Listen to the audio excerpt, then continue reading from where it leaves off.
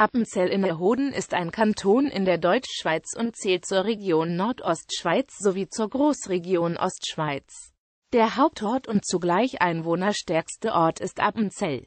Geografie Appenzell Innerrhoden ist mit 173 Quadratkilometern nach Baselstadt der Kanton mit der zweitkleinsten Fläche. Im Kanton werden 56,0 Prozent der Gesamtfläche als landwirtschaftliche Flächen genutzt. Der Kanton Appenzell-Innerrhoden grenzt an den Kanton Appenzell-Ausserrhoden und an den Kanton St. Gallen. Höchster Berg ist der Sentis im Alpstein, auf dem sich die Grenzen der drei Kantone Appenzell-Innerrhoden, Appenzell-Ausserrhoden und St. Gallen treffen. Bevölkerung Die Einwohner des Kantons werden Innerrhoder genannt, gelten als konservativ und sind römisch-katholisch geprägt. Per 31. Dezember 2015 betrug die Einwohnerzahl des Kantons Appenzell-Innerrhoden 16.000. Die Bevölkerungsdichte liegt mit 92 Einwohnern pro Quadratkilometer weit unter dem Schweizer Durchschnitt. Der Ausländeranteil bezifferte sich am 30. September 2015 auf 10,8 Prozent, während landesweit 24,6 Prozent Ausländer registriert waren.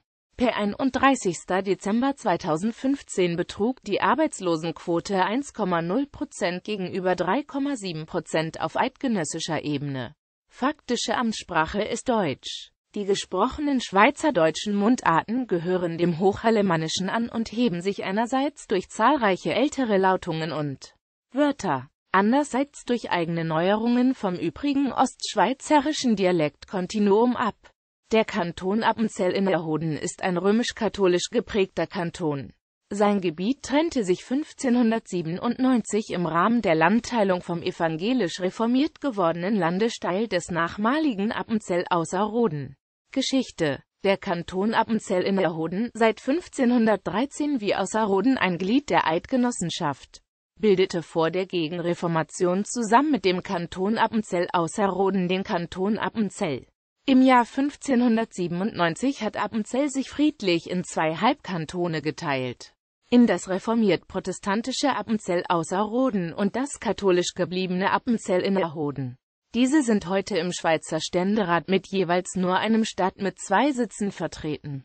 Sonst sind die Halbkantone heute eigenständige Kantone, wie die anderen Kantone der Schweiz auch. Nachdem der Landsgemeinde Kanton Appenzell im Mittelalter halbwegs demokratisch aufgebaut gewesen war, bildete sich seit dem 16. Jahrhundert wie in den anderen Kantonen in Innerrhoden zusehends eine elitäre Oberschicht aus, welche den Kanton selbstherrlich regierte, einzelne Familien beherrschten die Politik. Erst mit der Helvetik und dann im 19. Jahrhundert bildeten sich wieder demokratischere Verhältnisse aus.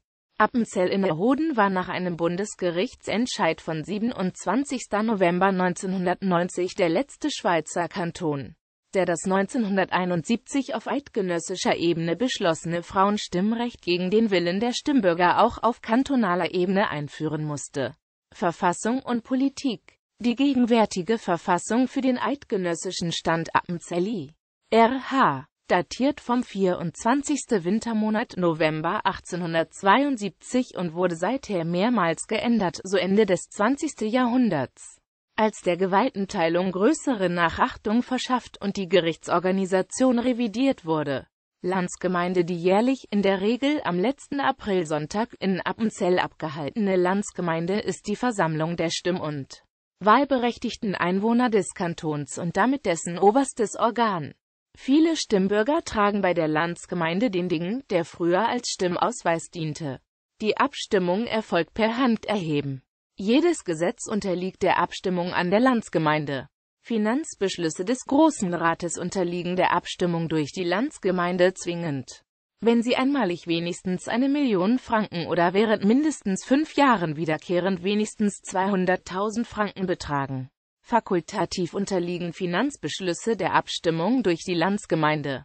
Wenn sie einmalig wenigstens 250.000 Franken oder während mindestens fünf Jahren wiederkehrend wenigstens 50.000 Franken betragen. Die Löhne für das Staatspersonal sind dem Referendum entzogen. Jeder einzelne Stimm- und wahlberechtigte Einwohner hat das Recht, eine Initiative einzureichen welche die Abänderung der Verfassung oder den Erlass, die Änderung oder die Aufhebung eines Gesetzes bezweckt Solche Initiativen sind der Landsgemeinde zwingend zur Abstimmung zu unterbreiten. Großer Rat Kantonsparlament ist der Große Rat. Seine wichtigste Aufgabe ist die Vorberatung der Verfassungs- und Gesetzesvorlagen zuhanden der Landsgemeinde.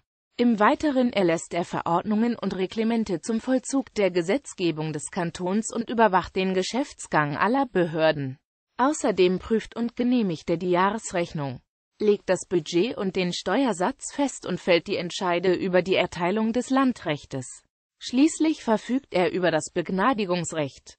Die Einsitznahme der Standeskommission und die Leitung des Großen Rates durch den Landammann wurde 1995 beseitigt. Mit den Neuwahlen im Jahre 2015 tritt eine Neuregelung in Kraft, nach der die Zahl der Großratsmitglieder auf 50 festgelegt wird. Jedem der sechs Bezirke stehen dabei mindestens vier Vertreter zu. Die restlichen 26 Mandate werden der Einwohnerzahl nach verteilt. Nach der zuvor geltenden Regelung wählte jeder Bezirk aus den in seinem Gebiet wohnhaften Stimmberechtigten auf 300 Einwohner je ein Mitglied, wobei eine Bruchzahl von mehr als 150 Bezirkseinwohnern einen Bezirk ebenfalls zu einem Vertreter berechtigte. Aus diesem Grund war die Zahl der Großratsmitglieder bisher variabel. Die Amtsdauer des Großen Rates beträgt vier Jahre. Die Wahlen finden in den meisten Bezirken an offenen Bezirksgemeinden statt, in Obereck jedoch an der Urne. Sitzverteilung pro Bezirk. Appenzell 18 Schwende 6 Rüte 10 Schlatt-Haslen 4 Gonden 5 Obereck 6 Total 49. Insgesamt sind neun Frauen und 40 Männer im Großen Rat. Kantonsregierung ist die Standeskommission, die alljährlich von der Landsgemeinde gewählt wird. Sie zählt sieben Mitglieder, die in ihrem Amt jeweils traditionelle Amtsbezeichnungen tragen und ihren Departementen vorstehen. Die Standeskommission kennt nur eine bedingte Selbstkonstituierung. Vier ihrer Mitglieder werden vom Stimmvolk direkt in das jeweilige Amt gewählt. Die drei übrigen erhalten ihre Ämter von der Standeskommission zugewiesen. Regierender und stillstehender Landammann wechseln sich in einem Turnus von zwei Jahren ab. Die ordentliche Landsgemeinde vom 26. April 2015 wählte Roland Inauen zum regierenden Landammann und Daniel Fessler zum stillstehenden Landammann. Die weiteren Mitglieder der Standeskommission wurden wiedergewählt. Für den zurückgetretenen Landeshauptmann Lorenz Koller wurde Hauptmann Stefan Müller gewählt. Bis zur Verkleinerung der Standeskommission von neun auf sieben Mitgliedern 1996 gab es überdies den für das Militärwesen zuständigen Landeszeugherrn und den für das Sozialwesen zuständigen Amleut-Säckelmeister. In jedem Bezirk besteht ein der ersten Gerichtsinstanz vorgeschaltetes Vermittleramt. Erste Gerichtsinstanz sind die beiden von den Bezirken gewählten Bezirksgerichte für das innere Land und die Exklave Obereck. Zweite Gerichtsinstanz ist die Abteilung Zivil- und Strafgericht des von der Landsgemeinde gewählten Kantonsgerichts in Appenzell.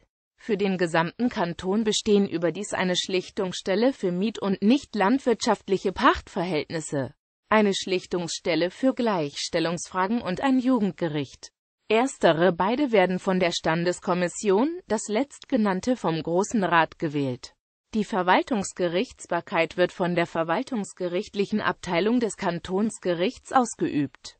Das Spangericht, das dingliche Streitsachen, sofern diese Flur und Weide, Quellen und Brunnen, Bach und Holz, Steg und Weg betrafen, sowie das Kassationsgericht, das für Nichtigkeitsklagen und Beschwerden zuständig war, wurden 1998 aufgehoben. Bezirke Die Bezirke sind die lokalen Verwaltungseinheiten im Kanton Appenzell-Innerrhoden. Sie entsprechen den politischen Gemeinden anderer Kantone und werden daher in Statistiken USW häufig als Gemeinden bezeichnet. Die Bezirke entstanden 1872 aus den ehemaligen Roden. Nachfolgend aufgelistet sind alle sechs Bezirke per 31. Dezember 2014, da sich verschiedene Bezirke das Dorf Appenzell aufteilen wurde schon im 16. Jahrhundert für gemeindeübergreifende Aufgaben eigens eine Spezialgemeinde gegründet, die Feuerschaugemeinde, welches das Dorf Appenzell mit seinen Außenquartieren umfasst. Heute ist die Feuerschaugemeinde für die Baupolizei, die Feuerwehr sowie die Wasser- und Energieversorgung zuständig. Schwende und Rüte teilen sich ferner auch das Dorf Weißbad. Die Bezeichnung für einen Bezirkspräsidenten ist Bezirkshauptmann, der Stellvertreter wird als stillstehender Bezirkshauptmann bezeichnet. Die Hauptmänner haben ähnliche Funktionen wie Gemeindepräsidenten anderer Kantone. Die vom Großen Rat geplante Strukturreform, wonach das innere Land zu einem einzigen Bezirk zusammengeschlossen werden sollte, wurde an der Landsgemeinde vom 29. April 2012 abgelehnt. Freiwillige Fusionen einzelner Bezirke bleiben möglich. Das Bundesamt für Statistik führt den gesamten Kanton bereits als einen Bezirk unter der BFS-Nummer. Bräuche, Alpfahrt und Alpabfahrt. Die Bauern bringen ihre Kühe im Frühling auf die Alp zur Sämmerung und holen diese im Herbst wieder ab. Dabei werden häufig die Trachten angezogen und die Bauern werden von Appenzeller Blässen begleitet.